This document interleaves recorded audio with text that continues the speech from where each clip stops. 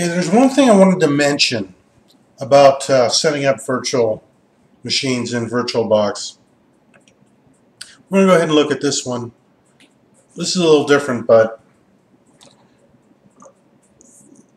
if you want, if you look in here under System, you have these tabs here: the motherboard, which is where the memory is, and what the boot order, and what chipset you want to run, and some I/O features, stuff like that that make things run a little better, usually with little newer operating systems in this particular VM.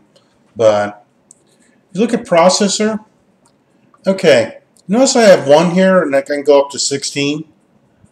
That's the virtual processors. If you have a multi-core processor, and especially a multi-core hyperthreading, and it has virtualization extensions, or as most people say, virtualization extensions, you'll be able to use this However,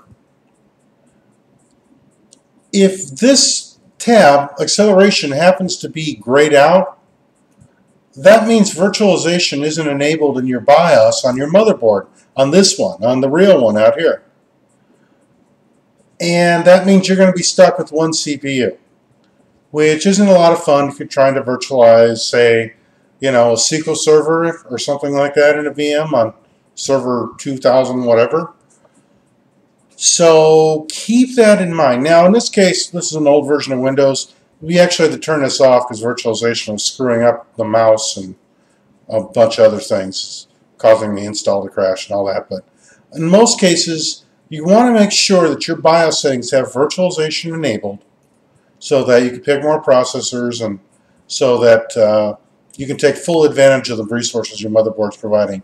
And I've actually run into some server boards specifically some older Intel Xeon boards that you could put a processor virtualization extensions on there, but the, if the board doesn't support it, it's not going to pass it through. Your OS has to see it. Um, for example, when you're looking at your OS, go ahead and look at Task Manager here. See I've got, this is a Core i7-860. It's got four physical cores and it's got hyperthreading, so it shows up as eight cores. If you're not seeing at least two of these, you, you're, you, at one of two things is happening.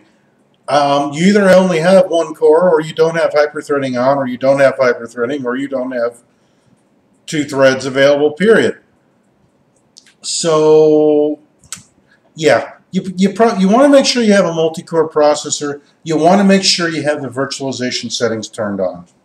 So just a little tip. And with that, we'll just move right along.